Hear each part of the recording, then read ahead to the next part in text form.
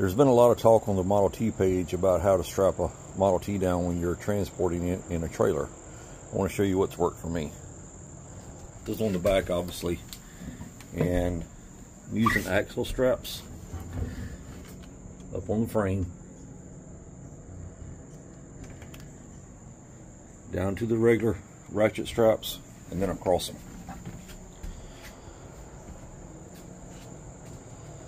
So now we're in the front of the trailer and I took axle straps again, wrapped them around the frame and around up under the spring.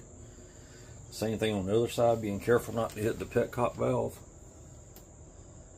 Came back to the regular ratchet straps, crossed them, and this has worked for me pretty good so far. Leave a comment if you have suggestions or if you don't think this is a good idea or if this works for you. Let me know.